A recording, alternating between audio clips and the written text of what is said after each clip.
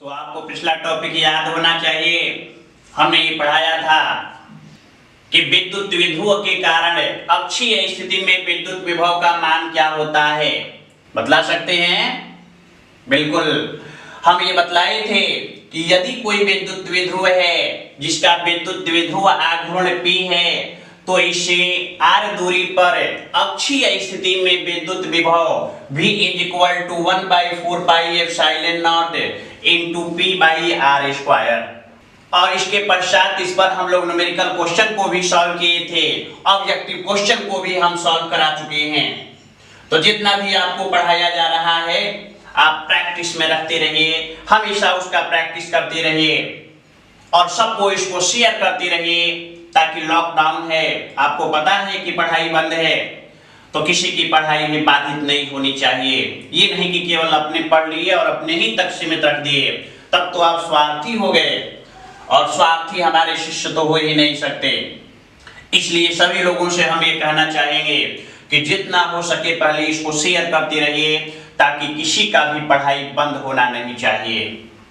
चलिए, अब हम लोग अपने टॉपिक पर आते हैं। आपको पता होगा हमको आज पढ़ाना है विद्युत विध्रुव के कारण विद्युत विभव और कंडीशन है दूसरा निरक्षीय स्थिति एट इक्वेटोरियल पोजीशन तो भाई आप चित्र में देख सकते हैं, यहाँ हम आपको दिखा रहे हैं कि कल्पना कर लिया जाए कि एक विद्युत विध्रुव है, जिसमें माइनस क्यू तथा प्लस क्यू आवेश हैं।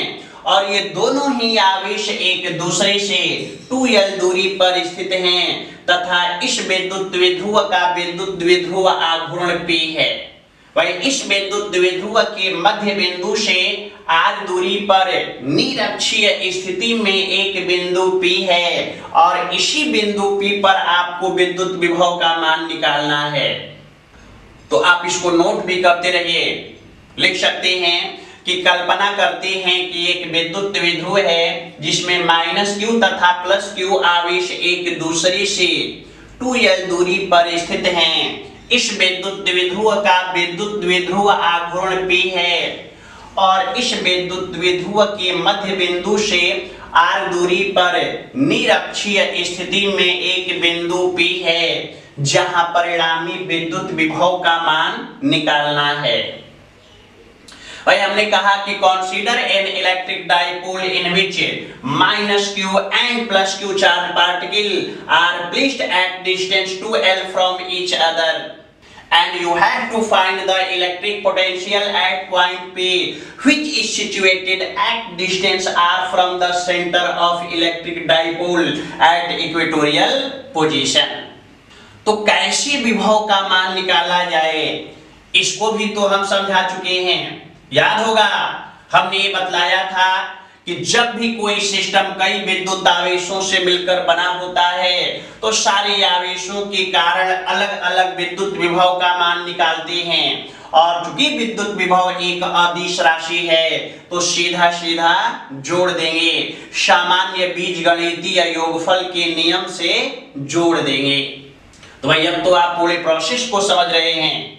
यानी हमने कहा कि if any system is made up of more than two charge particle then we calculate the value of electric potential due to all the charge particle and you know that electric potential is a scalar quantity hence we add them by simple algebraic process तो चलिए, अब हम लोग विभव निकालने का कार्य करते हैं।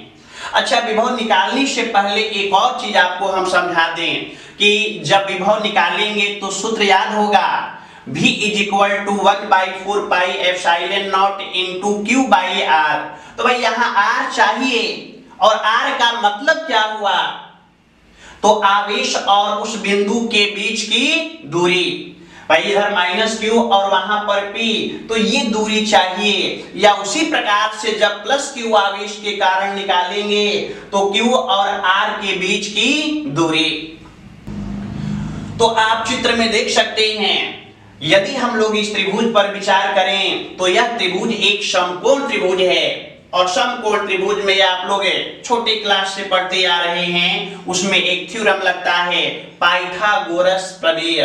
और ये कहता है कि कर्ण बराबर अंडर रूट लंब स्क्वायर प्लस आधार स्क्वायर तो यहाँ पर भाई आपको कर्ण निकालना है और लंब का मान है आर जबकि आधार का मान है मध्य बिंदु है तो टू एल का आधा यल तो आप कह सकते हैं कि चूँकि कर्ण बराबर अंडर रूट लंब स्क्वायर प्लस आधार स्क्वायर तो लिख सकते हैं कि यहाँ ये दूरी का मान under root r square plus l square और उसी तरह से उधर वाले दूरी का मान भी होगा under root r square plus l square तो चलिए अब हम लोग विभव निकालते हैं। तो कह सकते हैं कि माइनस क्यू आवेश के कारण बिंदु पी पर विद्युत विभव। और यदि इसको V1 मान लिया जाए तो आप समझ रहे हैं। आप समझ रहे हैं कि V1 is equal to one by four pi epsilon naught into Q तो भाई Q के जगह माइनस क्यू की बात कर रहे हैं तो minus q by under root r square plus l square क्योंकि दूरी की चर्चा तो हम अभी अभी कर चुके हैं। और यदि माइनस को पहले भेज दिया जाए तो लिख सकते हैं कि v1 is equal to minus one by four pi epsilon naught into q by under root r square plus l square और इसी प्रकार से आप समझ रहे होंगे कि अब तो प्लस क्यू ही बच गया। तो भाई प्लस क्यू के कारण विभव निकाल लेंगे। तो कह सकते हैं कि प्लस क्यू आवेश के कारण बिंदु P पर उत्पन्न विद्युत विभव। और यदि इस विभव को हम लोग V2 मान लें तो कह सकते हैं कि V2 is equal to one by four pi epsilon naught into Q by under root r square plus l square तो भाई अलग अलग विभव तो हम लोग निकाल चुके हैं और अब आपको पता है कि दोनों को जोड़ देंगे। तो कह सकते हैं कि बिंदु P पर परिणामी विद्युत विभव V is equal to V1 plus V2 मान लिया जाए इक्वेशन फ़र्स्ट तो अब हम लोग V1 और V2 का मान तो निकाल चुके हैं। तो भाई इस मान को इस समीकरण में रख देंगे। यानी लिखा जा सकता है कि V1 तथा V2 का मान समीकरण एक में रखने पर। और यदि दोनों वैल्यू को लिख दिया जाए तो लिख सकते हैं कि v is equal to minus one by four pi f naught q by under root r square plus l square plus one by four pi f naught q by under root r square plus l square और आप देख रहे हैं कि दोनों का मान बराबर है, लेकिन एक प्लस और दूसरा माइनस तो रिज़ल्ट होगा ज़ीरो नहीं समझे। और ये भाई प्लस चार और माइनस चार जब दोनों को जोड़ेंगे तो यहाँ पर भी दोनों का मान बराबर, यानी चार। लेकिन एक प्लस और दूसरा माइनस तो रिज़ल्ट क्या होगा? ज़ीरो तो ठीक उसी प्रकार से यहाँ पर भी रिज़ल्ट क्या होगा? ज़ीरो तो आप देख चुके हैं कि विद्युत द्विध्रुव के कारण निरक्षीय स्थिति में विद्युत विभव का मान शून्य होता है।